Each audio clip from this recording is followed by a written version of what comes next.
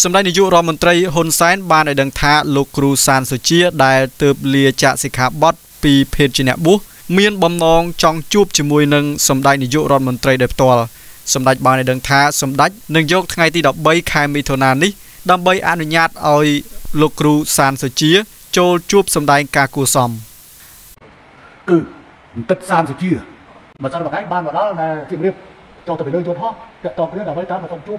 ណែនាយករដ្ឋមន្ត្រី ហើយអញ្ចឹងថាឥឡូវឲ្យរើសទៅរវាងថ្ងៃទី13និងថ្ងៃទី14អញ្ចឹងគ្នាក៏សូមរើសថ្ងៃទី13តម្រង់ទៅ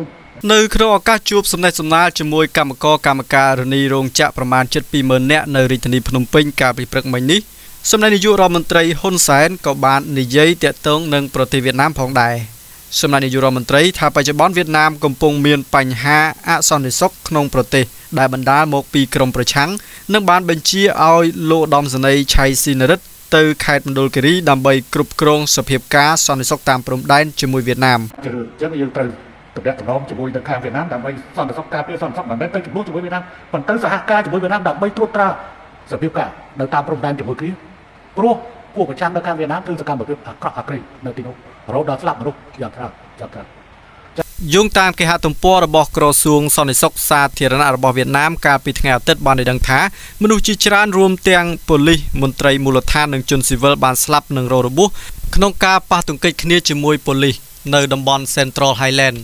នៃប្រទេសវៀតណាមហើយគិតត្រឹមថ្ងៃទី12មិថុនាតំបន់ Central Highland ដែលជាជំរករស់នៅរបស់ជនជាតិភាគតិចមួយចំនួនត្រូវបានចាត់ទុកថាជាតំបន់រសើបសម្រាប់រដ្ឋាភិបាលផ្ដាច់ការរបស់វៀតណាមហើយបានក្លាយជាកន្លែងដ៏ក្តៅគគុកនៃការមិនពេញចិត្តជាយូរមកហើយជំវិញបញ្ហានានាដែលក្នុងនោះរួមមានសិទ្ធិដីធ្លីផងដែរកុលសម្ព័ន្ធមួយចំនួននៅក្នុងតំបន់ដែលត្រូវបានគេស្គាល់ថាជាក្រុមជនជាតិភាគតិចម៉ុងតាញ៉ាបានចូលដៃចូលជើងជាមួយនឹងក្រុមវៀតណាមខាងត្បូងដែលគ្រប់គ្រងដោយសហរដ្ឋអាមេរិកក្នុងអំឡុងពេលមានសង្គ្រាមរបស់វៀតណាមកុលសម្ព័ន្ធខ្លះកំពុងអំពាវនាវឲ្យមានស្វ័យភាពបន្ថែមទៀតខណៈដែលអ្នកផ្សេងទៀតដែលស្នាក់នៅបរទេសកំពុងតស៊ូមតិទាមទារឯករាជ្យសម្រាប់តំបន់នេះ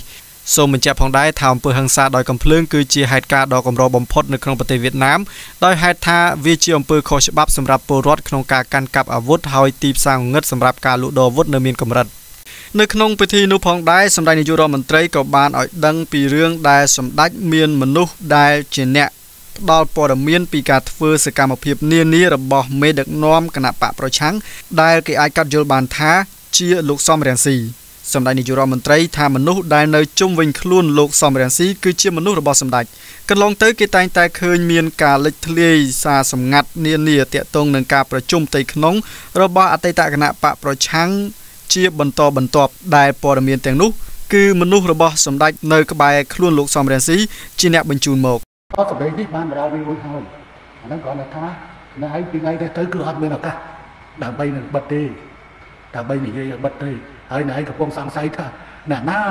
ដែលនៅតុកបាយហើយទៅប្រាប់ហ៊ុនសែនថាកំពុងត្រៀមចូលទៅវៀតណាមដោយប្រើប៉ាសពតប្រាំងនោះអាហ្នឹងកំពុងដាក់ការសង្ស័យពីទឹកពីដីខ្ញុំមិនប្រាប់ណែឯងទេ ប៉ុន្តែតើណែឯងកាប់មនុស្សជុំវិញណែឯងសម្រាប់ចោលទៅអស់ទុកតែឯងម្នាក់អាហ្នឹងបានអស់មនុស្សរបស់ខ្ញុំតេតងនឹងបញ្ហានយោបាយកម្ពុជាព្រឹកមិញនេះសម្ដេចនាយករដ្ឋមន្ត្រីហ៊ុនសែនក៏បានលើកឡើងបន្ទាប់ពីការពិភាក្សាជាមួយនឹងសម្ដេចកលាហោមសខេងនិងឯកឧត្តមកើតរិទ្ធរដ្ឋមន្ត្រីក្រសួងយុតិធធថាកម្ពុជាចាំបាច់ត្រូវធ្វើកំណែតម្រង់សិទ្ធិចូលឈ្មោះឲ្យគេបោះឆ្នោត សម្ដេចនាយករដ្ឋមន្ត្រីបញ្ជាក់ថាបើពិនិត្យមើលស្ថានភាពនៅប្រទេសថៃមានគណៈបកមួយចំនួនត្រូវបានបាត់បង់សមាជិកសភាមួយចំនួនពីការជាប់ឆ្នោតទៅជាបាត់បង់សិទ្ធិជាប់ឆ្នោតទៅវិញដោយសារពួកគេមិនបានបំពេញកាតព្វកិច្ចនៅក្នុងការបោះឆ្នោតលើកទី1ដូច្នេះកម្ពុជាអាចធ្វើបែបនេះបានសម្ដេចនាយកហ៊ុនសែនបានបន្ថែមថាប្រសិនបើជននោះមិនបានទៅបោះឆ្នោតលើកទី1ទេរូបគេក៏មិនអាចទៅឈរឈ្មោះឲ្យគេបោះឆ្នោតឲ្យដែរ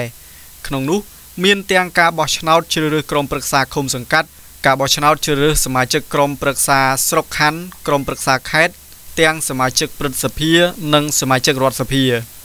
សម្ដេចនាយករដ្ឋមន្ត្រីបានលើកឡើងថាការធ្វើវិសោធនកម្មច្បាប់នេះគឺជារឿងចាំបាច់ដើម្បីជៀសវាងការនិយាយចុះឡើងក៏ប៉ុន្តែត្រូវតែនិយាយអំពីបញ្ហាផ្លូវច្បាប់ ជនណាក៏ដោយនៅក្នុងគណៈបកណាក៏ដោយឲ្យតែមិនបានទៅចូលរួមបោះឆ្នោតនៅថ្ងៃទី23ខែកក្កដាឆ្នាំ2023ខាងមុខនេះទេអ្នកនោះនឹងមិនអាចឈរឈ្មោះឲ្យគេបោះឆ្នោតនៅថ្ងៃខាងមុខទោះបីជាការបោះឆ្នោតអសកលក្តីជាសមាជិកក្រុមប្រឹក្សាស្រុកខណ្ឌក្រុងរាជធានីខេត្តឬការបោះឆ្នោតជ្រើសរើសសមាជិកប្រសិទ្ធភាពនិងការបោះឆ្នោតសភនិងការបោះឆ្នោតសមាជិកសភាឆ្នាំ2018 សម្ដេចបានបន្ថែមថាការធ្វើវិសោធនកម្មនេះនឹងធ្វើឲ្យស្របតាមមាត្រា34ថ្មីនៃរដ្ឋធម្មនុញ្ញកម្ពុជា ហើយគ្មានអ្វីដែលផ្ទុយនឹងរដ្ឋធម្មនុញ្ញនោះឡើយសម្ដេចថាក៏អាចធ្វើដោយថៃនៅពេលនេះប៉ុន្តែនឹងមិនធ្វើឲ្យប៉ះពាល់ដល់សិទ្ធិពលរដ្ឋរបស់ឆ្នោតឬមិនបោះឆ្នោតនោះទេវាមិនកើតបើគ្រាន់តែសិទ្ធទៅបោះឆ្នោតដែលជាសិទ្ធធម្មតារបស់ពលរដ្ឋខ្លួនរៀបរៀងខ្លួនមិនធ្វើបានផងហើយខ្លួនរៀបរៀងគេទៀតផងអញ្ចឹងវាតតែអនុវត្តឲ្យវាអស់ទឹកប្រោទៅ សម្រាប់អាក្រុមនោះខ្ញុំអង្វរក៏លោកឯងបន្តយុទ្ធនាការ Wi-Fi ចុះហើយលោកឯងកុំទៅបោះឆ្នោតអំពាវនាវលោកឯងកុំទៅបោះឆ្នោតថ្ងៃទី23ខែកក្កដាឆ្នាំ2023ខ្ញុំមិនមែនឌឺឲ្យលោកឯងទេតែនេះជារឿងពិតព្រោះលោកឯងជាអ្នកសម្លាប់ជីវិតនយោបាយខ្លួនឯងតាតែលោកឯងមិនទៅបោះអាណាគេទៅដាក់ក្រោះលោកឯងមិនឲ្យទៅតែលោកឯងមិនទៅខ្លួនឯងតាតែខ្ញុំឌឺឲ្យលោកឯងឌឺក៏ដូចជាមិនឌឺថាបើលោកឯងចិត្តរឿងកុំទៅបោះ